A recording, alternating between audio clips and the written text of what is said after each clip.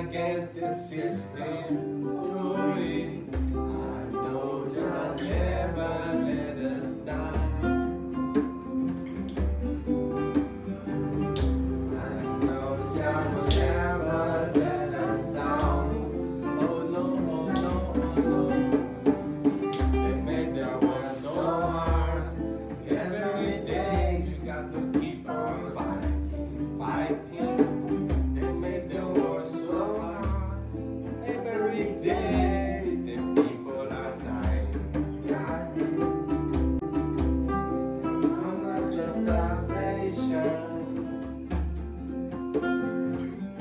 meditation. I'm reading revelation.